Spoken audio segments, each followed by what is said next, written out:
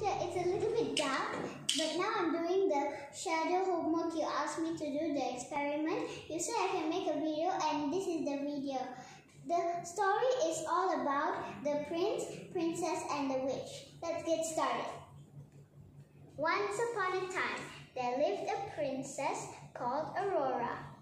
She was in the forest looking for something pretty. And then a, a prince came. Hello, what's your name? My name is Aurora. How about you?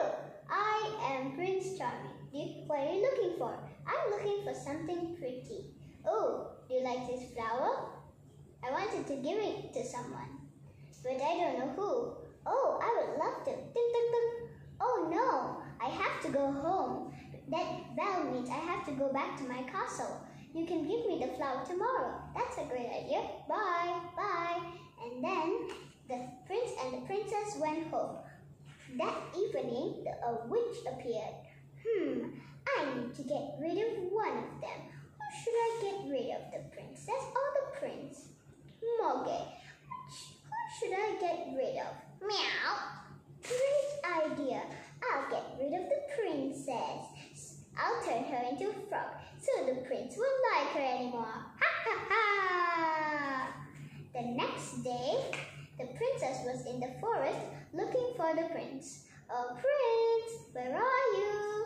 In front of her, the witch appeared. it's the witch!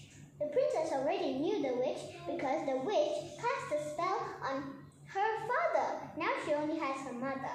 Ha ha ha! What are you here for? I've come to turn you into a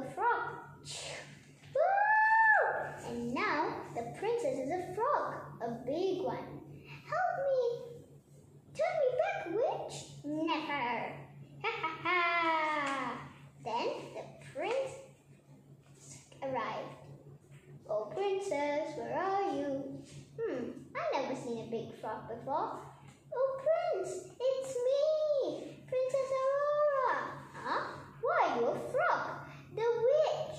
She turned me into a frog. Huh? What witch? The witch that that cast a, a stone spell on my father. Hmm. Okay, I'll go break her wand. And then he went to the witch. What are you here for, Prince? I've come to break your wand.